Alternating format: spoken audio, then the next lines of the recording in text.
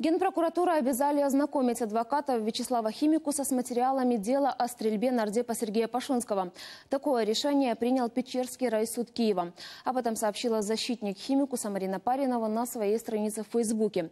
В, а, в августе ГПУ закрыла дело, но адвокат подала апелляцию. И 19 сентября суд должен решить, возобновлять производство или нет.